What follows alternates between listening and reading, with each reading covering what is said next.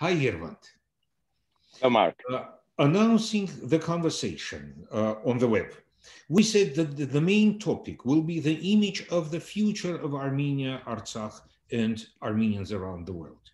So let's start with this broad question. How do you see the future for Armenia? Okay. Um, the future for Armenia and for Armenians, hmm? I see it to be bright. Hmm? Um, looking forward, hmm? Uh, we had bright past, we have bright future, and in my mind, one key that brings us to that brightness is our ability to adapt. Okay, adaptation is a key element. And coming from the technology world, coming from Silicon Valley, being creator and user of technology, hmm, I see that Armenians, with their adaptation capability, they will be able to adapt to situations, especially my recommendation will be to adapt to new technologies uh, in terms of using them to the best hmm, and creating them to the best. And with that, we will be ahead, okay? Uh, of course, technology is a gift to the world. Hmm? And it's not a fixed thing, it changes. It changes every year, it changes every day. Hmm? Uh, adapting to technology is not one time event, right? It's a continuous effort. But I think our adaptation capability as Armenians can help us and help, can help the world and help, can help also our role in the world hmm, if we are ahead of many other nations in adapting and in contributing to that domain. Saying that being adaptive and saying uh, um, being innovative or creative, they are very close to each other, but they are, they are, they are different things. Because to be creative, you have uh, you should have some uh, sort of uh, leadership skills or as, at least show some leadership being adaptive is being headed by anyone and just adapting to what that anyone says. Yes. Now, where can be uh, can we be creative and innovative? In which uh, fields or in which parts? How do you see sure. I, I personally think that both are important in reality, because by even by being adaptive, meaning by being, if you look at technology, there are people who create technology and people who use technology right? Uh, of course, the ones who create it are much smaller group in the world. The, the ones who use it are everyone in the world, and that keeps increasing. After COVID, every single person in the world is now technology savvy because technology saved us during that lockdown period. People, even who did not want to use technology, were forced to do that, were forced to use the most advanced tools in order to, to continue life. So, so it's true that everybody in the world is a technology user, but not at the same level. Uh, people use technology at different levels, even among a family, among a, a, nation. Not everybody has the same adaptation capability to novelty. Hmm? Adaptation is change, right? So not everybody is ready to do changes quickly. So, so I think putting the adaptation aspect or the user aspect, I think Armenians or Armenia should be more open to change, more open to adopting new technologies by adapting to the situations. Hmm? We shouldn't be the followers, we should be leaders in that. And, and technology is not in one segment, it's not an isolated segment. In everything we do, technology has a presence, right? The hardware, the software are turning everything to smart. Hmm? So smartness is what we like to, to, to adopt. Uh, the smallest thing that we use is becoming smart, right? It's not only the car is smart, can drive itself. Even your pen is smart, your, your shoe is smart. So uh, smartness is something that we need to learn how to adapt to. And then we move with that to improve our life and our contribution. So let's put the users aside for a moment I'll come to your question about the, the innovation. And the innovation is the creation of the technology, not the usage of it as much. Hmm? Uh, creating technology means that you need to have the, the, the brilliant mind of bringing novelty. Hmm? Um, today, that innovation is commercialized, is globalized. Hmm? In the past, I had to work my first 10 years of my career at Bell Labs. What Graham Bell has created, the first place where the telephone, the transistor, the communication was created. Because that was the concentration of innovation, of creativity. Since then, that creativity became much more commercialized. It's anywhere in the world you can be creative. Hmm? With the revolution of the internet, that is uh, easy communication, free communication. Hmm? With the evolution of smart engines, smart computers, unlimited amount of memory, everybody can be creative. Hmm? So that's why I don't see a limit, geographical limit that is, to people who would like to contribute to technology. That's why Armenians can, can be there without issues. Now, I'll come back to your question in one more step, perhaps. You said in what domain? Technology is so wide these days. It's very hard to do creativity in every single domain. We need to find centers of excellence in certain domains of technology to create a crowd, to educate, to do research, to create startups and so on, but not in every domain, but rather in certain domains. Okay? Okay, now uh, your answer uh, prompted three other questions, in fact. Okay. let, let, let, let, me start them uh, um, uh, one by one. Uh, and one of the things you said is uh, being creative, you can be creative anywhere in the world. And that's absolutely yeah. true. Yeah. Uh, when you are nowadays creative, wherever you are, you can also earn money by being creative, right? Of course, of course. It's of course. not only about, you know, just just opening up your creative mind and creative soul. It's also about uh, monetization of your creative uh, uh, capabilities. And uh, so, do we have a good start? Are we in a good place to start uh, thinking like that? I, I think so. We have, it, it maybe not a very popular and not a very large number, but we do have a very good number of people who are looking not only to create, but also to create and monetize that creation. Hmm? Now, not everybody who creates technology needs to have, needs to be the CEO of a startup. Some people think that way. I'd like to say that in advance, that not everybody is an entrepreneur. Not every single person needs to be a CEO. Then the companies will be a single person companies, right? Nobody will be. So we need people who create, who are part of the ranks, still making good money, still getting good salaries and so on. So you can monetize your creativity by being part of a multinational company, hmm? by working at Facebook, at Google, at Synopsys, at Cisco, elsewhere. So you can be part of a multinational company and make good money, but also you can create your own startup, you be an entrepreneur and make more money perhaps uh, by if you are successful, of course, there is the risk, the, the 10% success factor we know with startups. But if your startup is among the 10% that will succeed, you can make much more money. That's the risk and reward concept that we all know from Silicon Valley. Hmm? So yes, monetization is definitely there. Now, I've started this series of interviews uh, together with the Future Studio, of course, uh, in December, last December. Since then, we are talking almost every single week to very different people, very interesting people, specialists and experts in their sphere. Uh, and everybody says that Armenia has to change. Actually, the change in Armenia is becoming one of the main topics of our conversations. But, and you said also, we, we should be ready to change. Yes. Being, being ready to change in itself means a change because nowadays many people in Armenia are not ready to change. On the other hand, I've seen people in villages, in remote villages in Armenia, villages where they don't have, uh, you know, natural gas, gasoline, as mm-hmm. you say in America.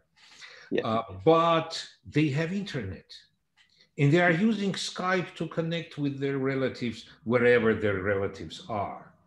So it is already a change and it is quite a significant change. Hmm. The main point is there should be a how, there should be, say, a roadmap for changes. And this roadmap has to be for changes for very different people in towns and villages, in the big city, which is Yerevan, and Gyumri, of course, uh, elders and youngers, school children, and, and everybody else how can we create this roadmap? Yeah. Yes. Um, first of all, I, I don't believe in master roadmaps. I believe in efforts, in initiatives, in attempts to do things, right? It could be multiple projects because there are various people with various interests, right? Maybe it's not one top-down uh, mandate that will change everything, right? But there are changes that we are already seeing. We need to, to increase them. Hmm? The changes in Yerevan have come much earlier. Hmm? And I see that change from generations. Hmm? in the company that I work, Synopsys, we hire 100 person every year, okay? We increase our, our workforce. Of course, we have limitations. That's why we moved to Gyumri recently. We can talk about these things later. But uh, with every new generation that we hire, we bring in, we see the change. The new generation is much more open-minded. It's much more autonomous, knows multiple languages, uh, is uh, very, very fast in learning, in adapting, and so on. So even though we are adapters from the beginning, but with every generation, we see the change. The youngers, even better. Now, but for that to happen, we need to educate, we need to mentor, we need to prepare. Hmm? When we do the preparation, the change is there. Hmm? That's why, for instance, we work with universities, we work with high schools, because if we do that change from early stage, hmm, the change is faster, more fundamental. I don't want to say that the, the, the more the adults will not change. They will also change. I have a program that I like a lot. We have this um, women empowerment program for women in villages. Okay, uh, AGBU created this WE program, which I love it because it takes women who have entrepreneurial skills in the marzes, mentors them, teaches them courses, and trains them to become successful CEOs of small startup companies in their own villages.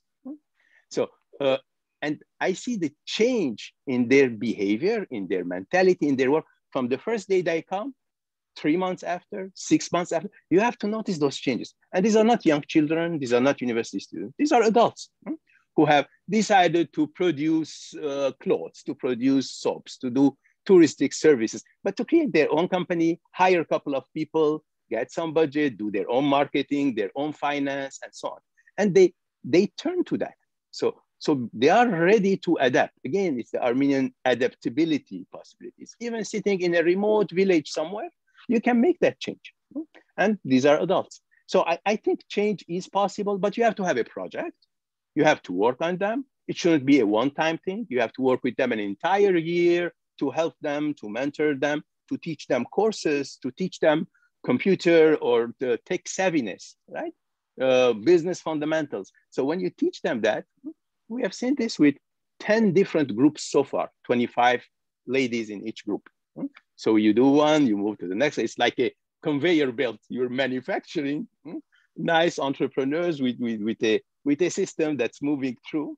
It's a very, very good example, but it's only 110 uh, 10 groups of 25 each. So it's limited still we need many projects like this hmm, in order to scale, in order to cover the entire country and Artsakh. By the way, one of those groups was from Artsakh as well, 25 ladies from Artsakh. I'm just giving it as one example. There are many such examples where you see the change coming very nicely. Hmm. Uh, and the third question, which comes out of uh, yes. your first answer, is about centers of excellence. You yes. said that uh, the development cannot go in all directions simul simultaneously. There should be chosen some uh, directions and, and sort of form centers of excellence in each direction. Which directions they, these can be? Okay, we have one direction that I'm, I'm familiar with, which was successful. I can use that as an example. Hmm? And then we can look at what else can be done similarly. Mm-hmm. The direction that I was involved in from the early 90s when I brought some education, some research labs to Armenia, 94, 95.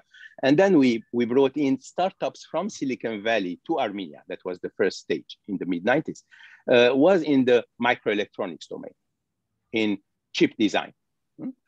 You know, the backbone of all these technological innovation are the chips the reason we're getting, we're improving technology year after year because the chips are becoming faster, more knowledgeable, with more memory, with more processing power.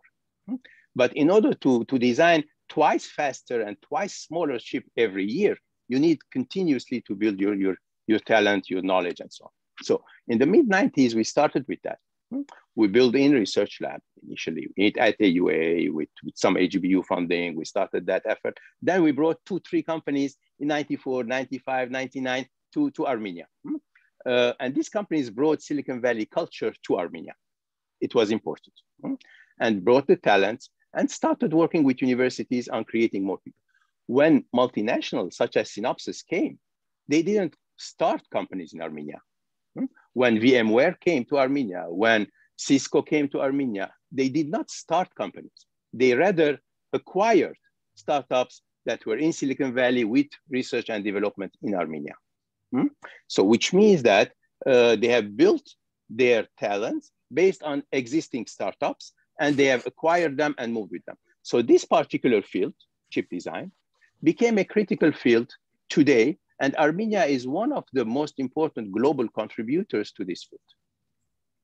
Most of the chips today around the world do use building blocks that are built in Armenia. We may not know that. In your telephones, when you're using your application processor, whichever brand it is, it has in it blocks that are designed in Armenia. Self-testing, uh, self-repairing blocks, communication blocks, DDRs, USBs, these are all made by our company. I know it because of a fact, right? Uh, and Armenia is not behind anyone else. Today, the most advanced technology is three nanometer. Hmm? We have designs in three nanometer going on in Armenia, and they teach customers in Japan, in Korea, in the US, in Europe, how to do it. So we are the ones who are supplying the building blocks, if you want, from Armenia for these chips to happen. So you're playing a global role there. So I think one of the successes is that but we need to keep feeding it. So I'll come back to the education and how to feed the pipeline. But I think similar to this example of the microelectronics domain, the chip design, we can create other domains as well. Hmm? Biotech is one, fintech is one, cybersecurity is another, but I will concentrate on one particular one, which we already have a base in Armenia, that is artificial intelligence. Similar to the semiconductor or microelectronics that I mentioned, that is the backbone of technology. Today's back, new backbone of technology, in addition to the microelectronics, is AI. Hmm? AI is not one sector. It's not only AI in education or AI in finance or AI in health. AI will be or is already part of everything we do. Hmm? If my car is self-driving, it's because of AI if my video is doing filtering with you now because of AI is, is cleaning my, my picture with you. Okay. So AI is everywhere. So developing AI talents in Armenia and building startups based on AI and so on will be fundamental. So I think investing in that domain from education to research to companies will, will be also very important.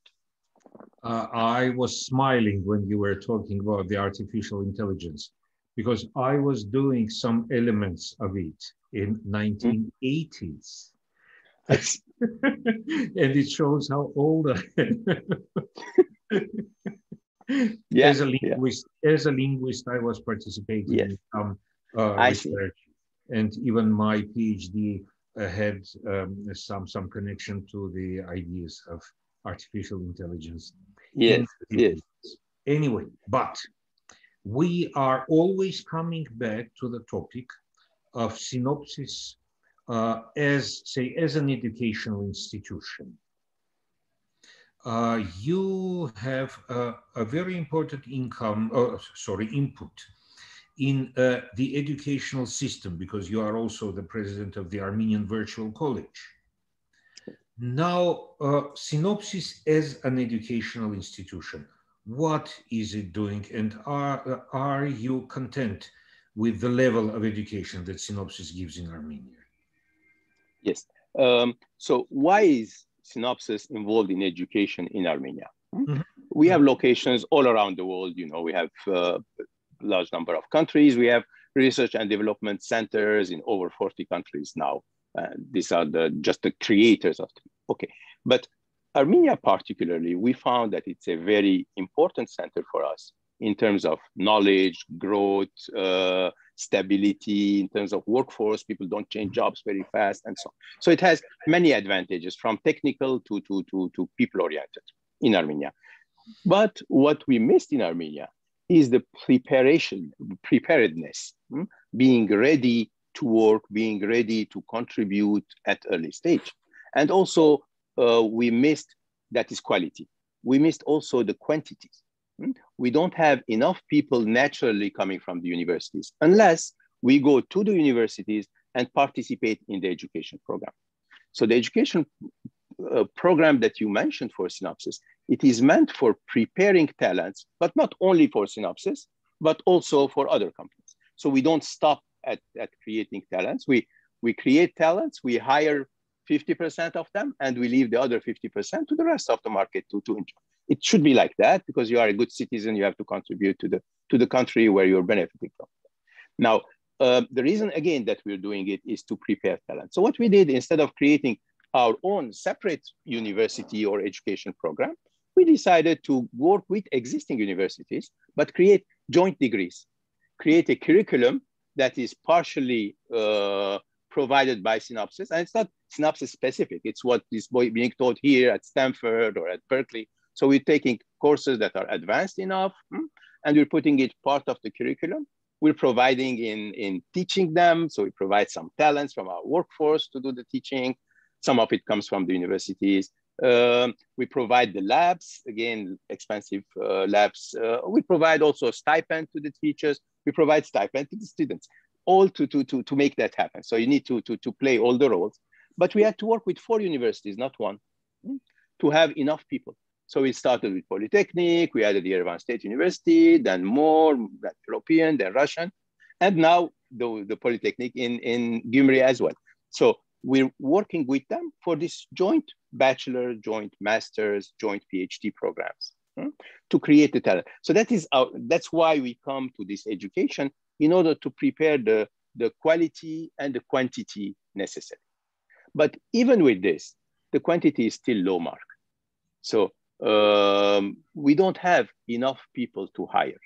You may know perhaps that the, the technology sector is missing enough talents in Armenia to hire. Many companies, even us, we have lists of positions that we cannot fill them. And if you don't fill this 30 people project for six months, it will not stay in Armenia. I have to take it to some other country in, in East Europe or in, in Asia. I will not name the countries, but naturally the, those, those open positions will go elsewhere and therefore the funding will go elsewhere. So we need to create enough people. And therefore we need to enhance the universities and not only that, that will bring me to the high schools. So we need to provide more STEM education. STEM, you know what is, of course, right? Science, technology, engineering, and math. Um, so STEM education, we have to strengthen it in the high schools. We, we do have a problem there, especially high schools in the regions, in the marzes. We do have a problem there and we need to, to enhance that.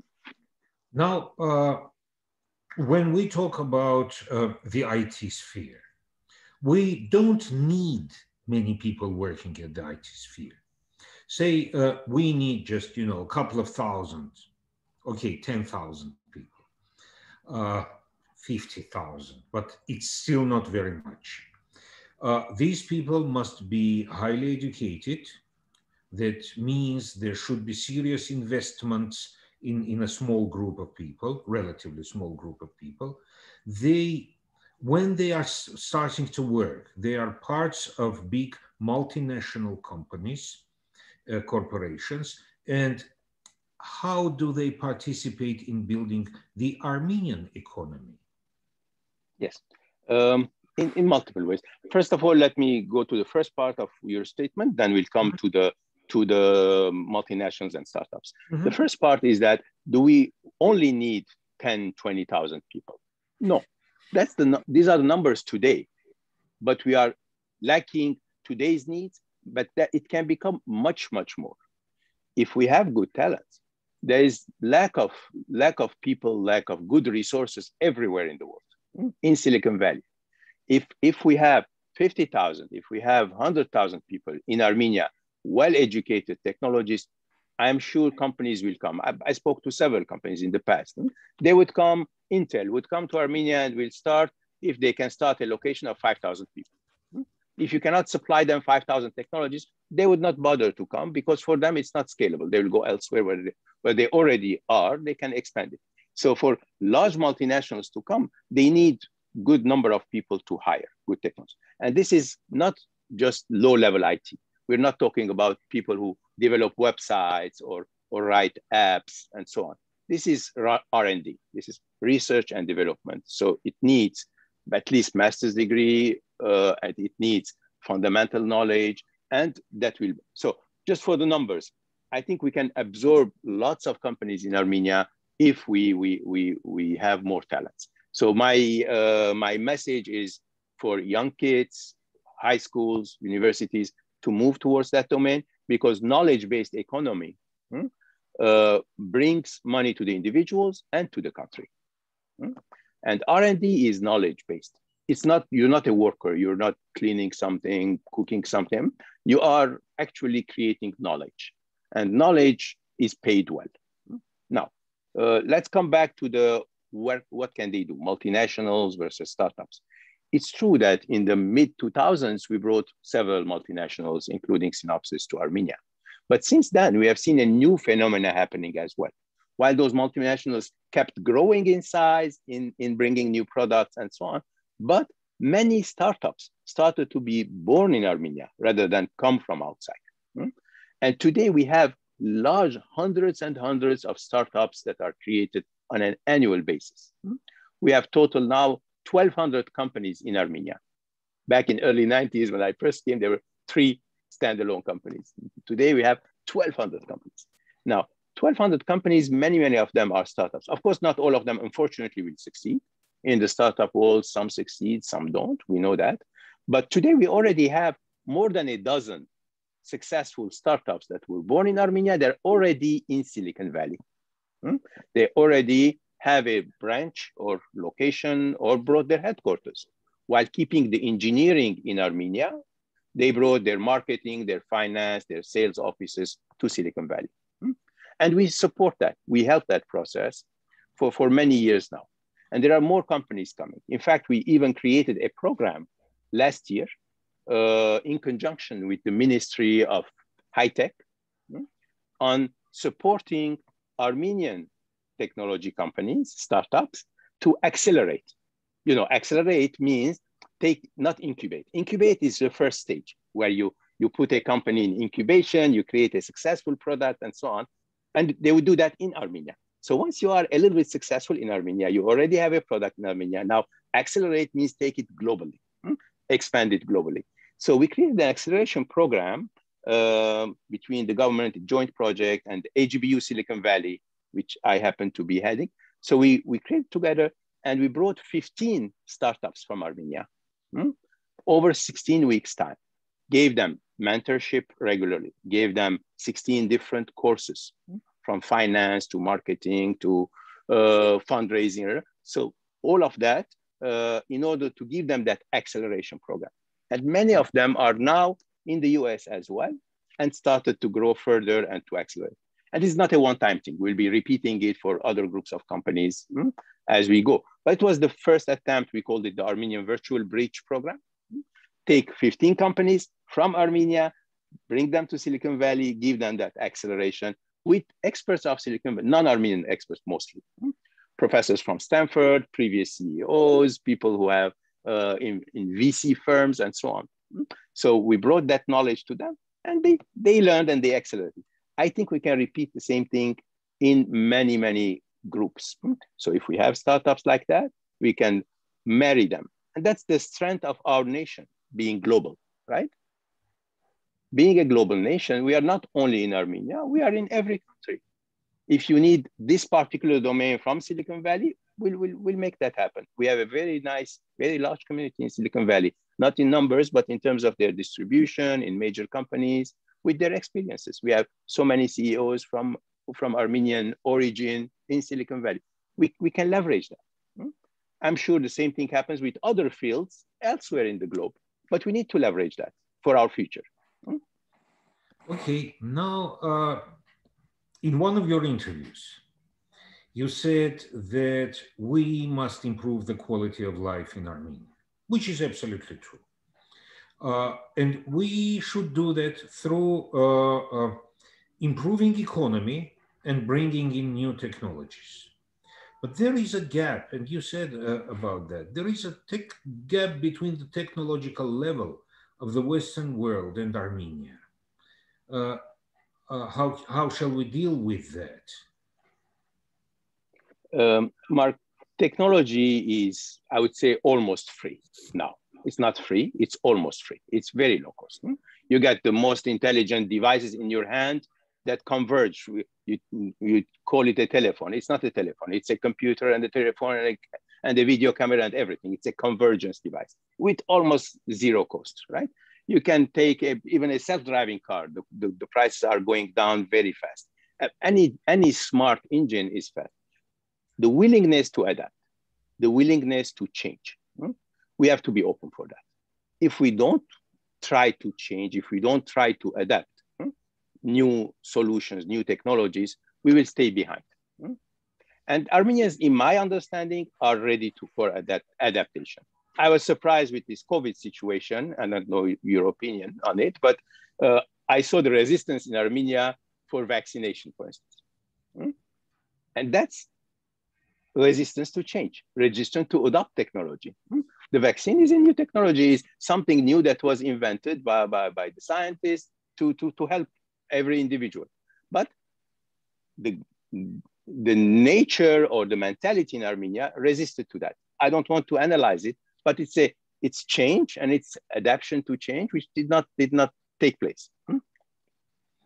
In some spheres, this adaptation takes uh, a lot of courage, a lot of willingness to change. I mean, look, mm-hmm. each self-driven uh, taxi yes. would take the job out of one person and will leave probably a family uh, without income. So you can uh, see a huge uh, uh, uh resistance to the self-driven cars. Yes, but the taxi driver will have something more interesting to do, right? We used to have the telephone operators. You know, they used to link telephone lines. Mm-hmm, mm-hmm. They disappeared. Where are they? They're doing something more intelligent, more smart. So, so we need to to move with the wave. Hmm? uh, to do something better, something more intelligent, more interesting, and smarter, right? If we want to keep our old jobs only, that, that will keep us behind. Things will come and, and, and go, right? The, the horse carriages, where are they? They don't exist. If you stay with the horse carriage because that was what you used to do, you didn't adopt a car, then, hmm? and the self-driving cars, the same thing. Uh, they are fact, they are here. 10% of the cars here in Silicon Valley are already self-driving. So it's it's it's not difficult to see them doing their jobs, even though it is it is difficult to create them. So we don't only become users, but we can help create the self-driving cars, help create the artificial intelligence in the chip inside the car. And by the way, some of it is done in Armenia today. Hmm? Uh, to, to be able to make the judgments of the driver so that the driver can read a newspaper or can, can do a conversation like this while the car is moving uh, you know, there was a movement in England in the 18th century where the people would uh, smash uh, uh um, the equipment because that equipment uh, is taking their jobs. Yes. So uh, we, we always live in a world which is sort of pregnant with that sort of problem. True and that's again the, the change problem right the change but i think going to the to the younger ages also would help so I'll, maybe we can emphasize one more the education from early stage and education in every village hmm? that's very important and maybe that brings us also to the educational technologies to reach them because mm-hmm. if you want the schools in every village to be modern hmm, it's very hard to do it in in bringing the best teachers to the village and so you and the best laboratories and the best books and so on. The best thing to do is to give them internet, to give them the connection, and to provide the best dynamic multimedia courses hmm, via the internet, via e-learning. Mm-hmm. Like, like anywhere else, uh, education is a very the best recipient of new technologies. You mentioned the Armenian Virtual College earlier. With AVC 15 years ago, we looked at e-learning and we said technology is a gift to Armenians. So Armenians around the globe can benefit from e-learning to, to learn Armenian heritage, to learn Armenian culture, to learn Armenian language and history. And we succeeded. In 110 different countries around the world, people adopted the Armenian Virtual College courses. In this case, the goal was not to develop the economy, but rather to pass on the Armenian heritage from generation to generation and to let them learn our, our wealth, our heritage, right? And we did that with 35,000 people today. And by the way, that increased a lot during COVID because COVID people have the time and the savviness of technology. So we, we saw that our e-learners multiplied by four times. it increased very quickly. Since then, we every quarter, uh, the Armenian Virtual College teaches four times more people and started. But more importantly, I think that experience of e-learning that we have in AVC or elsewhere, we need to adopt it inside Armenia to bring the best knowledge to the villages, the best STEM education programs. Science, technology, it's very hard to have laboratory in every school. You can have small labs here and there, but to make it massive, to make it uh, scalable, you have to use the technological education and you can teach the physics, the biology, the math in the, in the most interesting, most interactive, engaging ways in every village. The, the young kids in those villages have the right to learn and then to contribute hmm, to the society, to create their own startups, to, to work in the multinationals, to create, to, to, do, to become innovative. But that has to start from that ground. If my, my schools in the villages are not strong enough, they're not giving enough quality of education, I'm losing a good chunk of youth who will not be participating in the knowledge-based economy. Uh, let me interrupt our conversation for a second because uh, one of our listeners, Bagrat Pogosyan, I think he's from Gyumri, he's, he says, I know the history about digital pomegranate company in Gyumri. They started the company with 10 people uh, so it's it's rather like a comment coming from him uh, rather yes. than a question. And just to talk to, to say to our listeners, you are free to ask questions, and I will be happy to post some of them to the, the best questions, obviously, to our guests, who is uh, Yervant Zorian today. Now, uh, again, I mean, you see this part of our conversation is going about the change, the need for change, and the resistance to change. And uh, one of the changes that we have to come through is about increasing our productivity. Yes. Uh, because now uh, Armenians in general, we are working with quite a low productivity. Uh, uh, 10 in the morning, Yerevan is still sleeping if there are no schools, which is not the best way to start uh, the life and not the best way to be productive. And what I can notice here in Armenia that there are loads of people who just not interested in uh, increasing their productivity, and mm-hmm. uh, uh, they probably they want changes, but they don't want to change themselves. And this is a big problem, isn't it? It is. It is. But productivity is a result of motivation, I think. Hmm? Probably they are not motivated. That's why they are not productive. Not that they are lazy in nature, but they need the motivation. They need a reason for to become productive, right? In, in, in our companies, for instance, we we worked for the last 15 months and until today we work from home right we didn't open our offices because of covid and everybody works from home the productivity within this 15 months went up it didn't go down because they had the motivation they had their deadlines they had their schedules they had their, their, their management their teamwork so so if you you you build that system around them it's a culture if you build that system around them, then they have to be productive. In fact, because people are doing less things socially all around the world, by the way. In technology companies, we saw an increase in productivity for about 15%.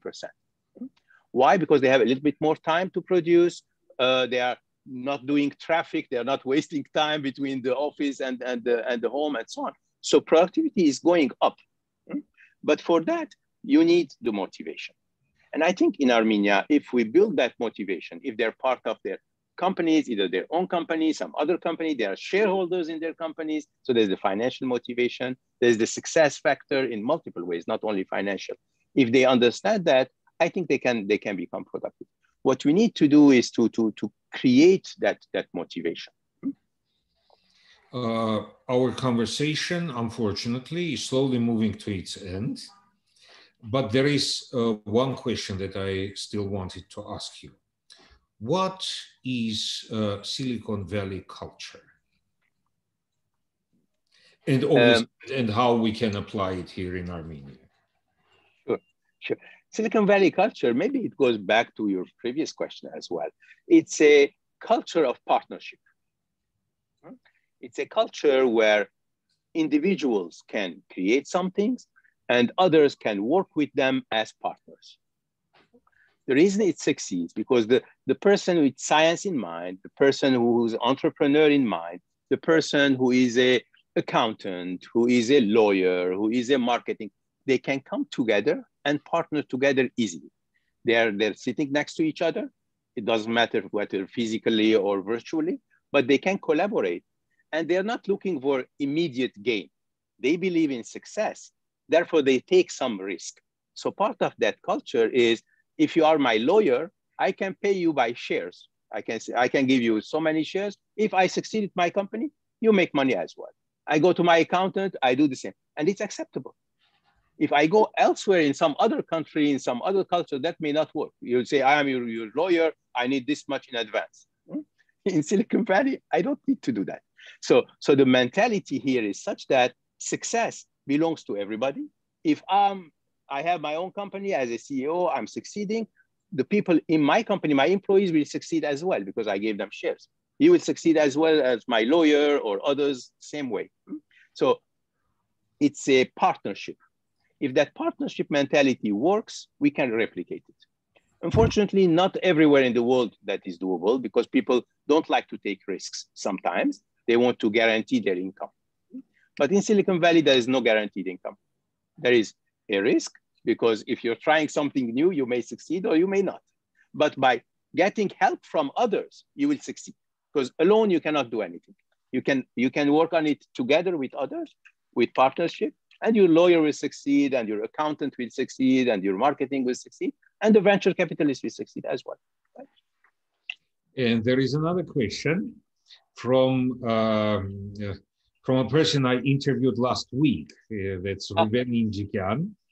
He says, yes, how can we absorb the Silicon Valley culture and motivation in Armenia through existing and emerging links between them? I believe not only through these links, but uh, there should be other ways as well.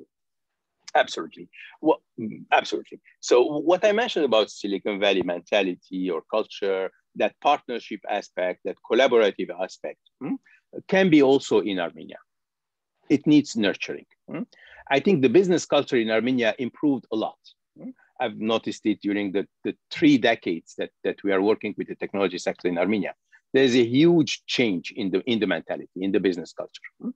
They understand about startups, they understand about success, they understand about uh, from raising money to doing marketing pitch. So, so all of these are the what I mentioned about these 15 companies that we accelerated recently was a very good example of taking Armenian startups and bringing them to, to, to Silicon Valley to show that acceleration. Now, what they learned can be utilized in Armenia for the next companies and the following companies as well. So this is a, it's a culture. It, it, it continues to build by itself.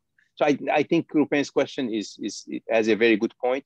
We really need to, to replicate as much as we can. Hmm? And we from here, and I'm sure Armenians around the globe, but we from Silicon Valley, we are, we are willing to work with, with any set of uh, startups or, or larger companies in order to bring that, that connectedness. We have a richness, right?